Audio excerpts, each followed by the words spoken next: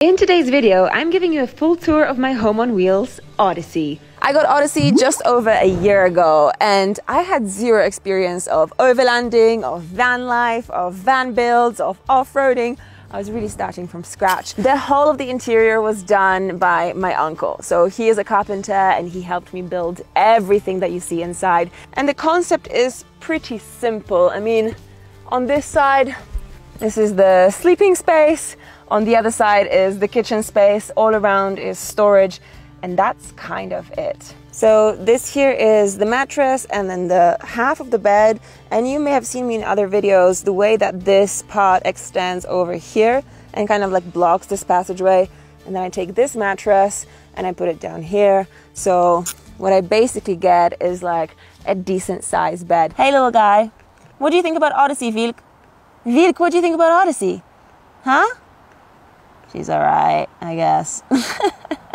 okay, my kitchen setup. So I've got this cupboard here which kind of opens up and then you can, I can kind of just keep it open uh, with a little latch. And all my cutlery and all my, you know, plates and things like that is right there. And then in terms of where I store my food, well, that's kind of split between a couple of storage boxes and a cooler. I don't have a fridge. But when I cook, I don't cook on the inside. I usually cook out here at this little table, which is like one of my favorite things about the entire build. And this table we did not make ourselves. This table is from Front Runner. The awesome thing about this table is that it extends this way as well. So you've got a chopping board here, as well as a proper kind of cooking space here. As it turns out, water is a super, super important component of overlanding. The water just goes in here. So I just open this up, stuff a hose in, pour water in, and the water just kind of goes down via a system of pipes into the water tank. And then over here is the tap. Oh, we have water. But that's just water for cooking and washing. This is my drinking water setup, which is awesome. So I've got a bracket here, also from Front Runner, and this water filtration system basically water purification tank from Lifesaver. It's amazing. In terms of storage, I've got plenty of storage here, but I've got way too much stuff that I'm carrying around everywhere. This cupboard right here is for things like um, some clothes and some toiletries. This one right here has my socks and underwear and things like that. This one is all my electronics. And this here is a new addition, some more storage.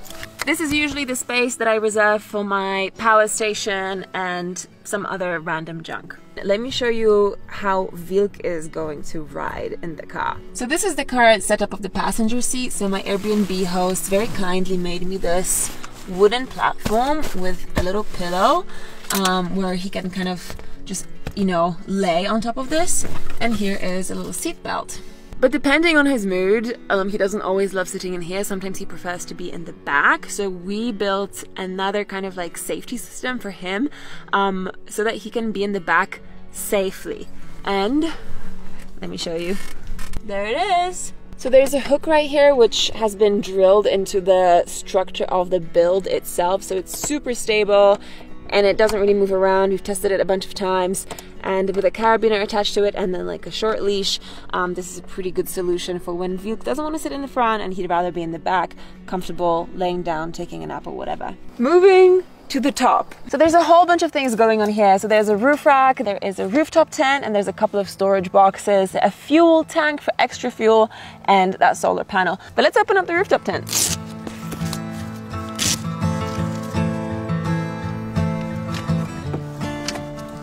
I've really, really loved sleeping in the rooftop tent over the last year. It's been like hands down my favorite spot to sleep in in the car rather than inside because you're so high off the ground. You've always got a beautiful view. It's spacious. It's great.